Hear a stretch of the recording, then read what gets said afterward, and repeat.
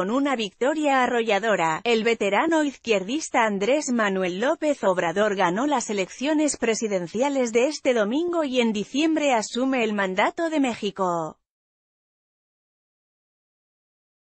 Sin embargo, tiene poco tiempo para celebrar, los electores esperan una solución a los problemas más apremiantes de la segunda economía latinoamericana como la violencia ligada al narcotráfico, la incesante corrupción y la complicada relación con Estados Unidos.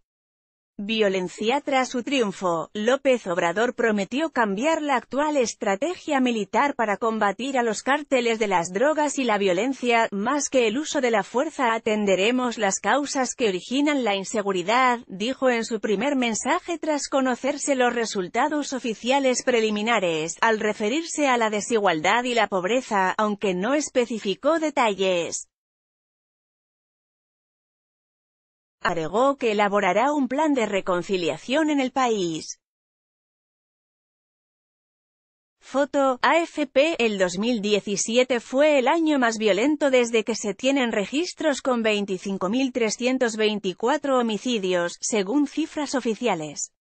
La campaña electoral dejó 145 políticos asesinados en menos de un año. Los grupos criminales se siguen peleando por el control de los cultivos de amapola, de la distribución de la heroína y... Creo que la violencia no va a mermar por un buen rato, dice a la FP el exagente de la DEA Mike Vigil, afirmando que una nueva estrategia es urgente.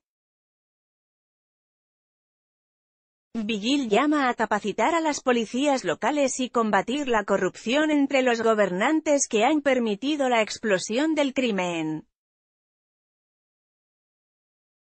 Tiene que atacar a todo el grupo desde arriba hasta abajo, a la gente que está metida en la corrupción, que está protegiendo a estos grupos criminales. Corrupción tema que más rabia y hartazgo generan entre los mexicanos. La corrupción fue una parte vital de las campañas electorales y el eje por el cual López Obrador construyó su candidatura.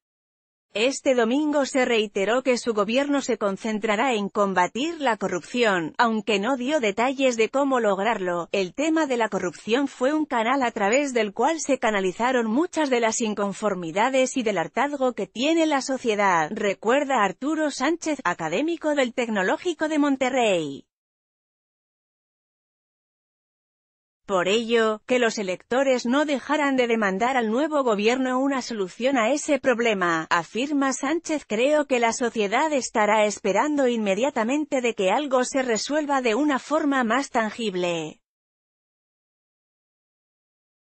Ilustración, sin embargo Trump y el TL can enter los mayores nubarrones económicos en el horizonte está el Tratado de Libre Comercio de América del Norte, TLCAN, que México revisa actualmente con Estados Unidos y Canadá. Para México es vital llevar la negociación a buen puerto pues 80% de sus exportaciones tienen como destino a Estados Unidos, su mayor socio comercial, aunque López Obrador no se refirió directamente al TLCAN, dijo que buscará una relación de amistad y cooperación con Washington.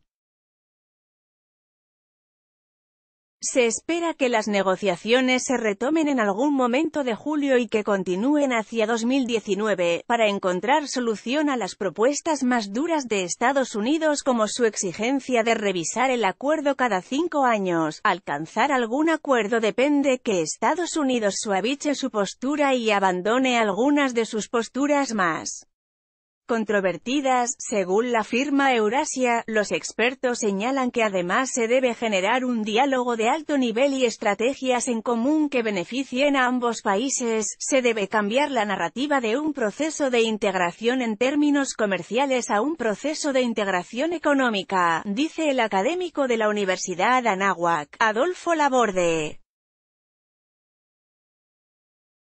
Foto, AFMigración La migración acaparó los reflectores internacionales por los cientos de familias que huyen de la violencia en Centroamérica para pedir asilo en México o en Estados Unidos. El fenómeno se complicó ante la fuerte postura anti-inmigración del gobierno de Donald Trump, que momentáneamente instituyó una política de separación de familias en la frontera que generó indignación mundial.